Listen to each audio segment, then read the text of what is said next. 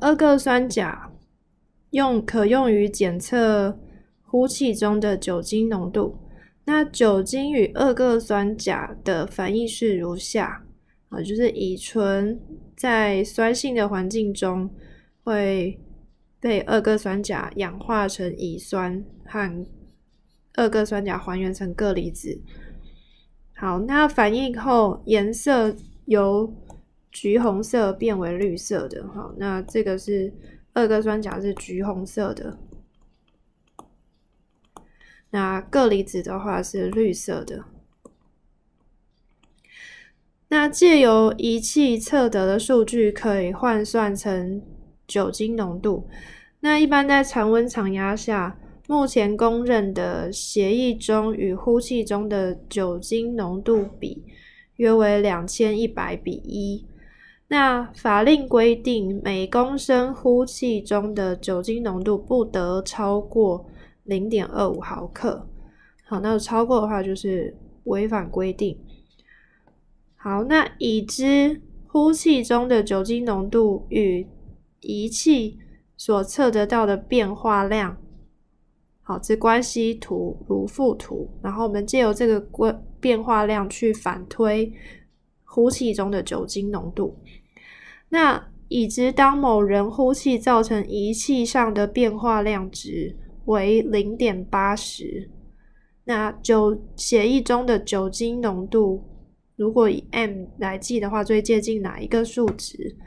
那我们找到变化量值为零点八的时候，好，零点八在这个地方对应过来，呃，呼气中的酒精浓度是每公升零点四毫克。好，那每公升零点四。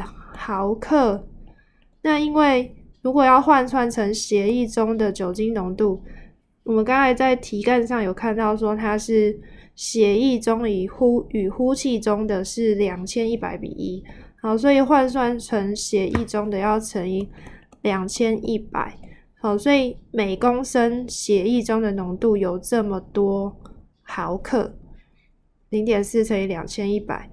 可是他问的是以 m 为单位，好，所以是每公升溶质的末数。好，所以我们要先把它换成每公升的克数，先乘以十的负三，再除以乙醇的分子量是四十六。好，那这样子的话，出来的单位就会是每公升中溶质，就是乙醇的末数。好，那计算一下，会等于。零点零一八，好，大约是零点零一八大 m，好，所以这一题的答案选择是 B 选项。好，那第二小题，他问呈上题，此人呼气中的血呃酒精浓度，好，呼气中的酒精浓度是否超标？那题干上有提到说呼气浓度。如果超过零点二五毫克，其实就超标了。好，所以我们刚才有观察到它的呼气中的酒精浓度是零点四毫克。好，已经大于法定的标准值零点二五毫克每公升。好，所以是已经超标了。所以答案选择是 A 选项。好，我们看一下他给的答案。好，第一题的答案是 B 选项。此人造成仪器上的变化量是零点八，好，所以呼气中的酒精浓度是零点四毫克每公升。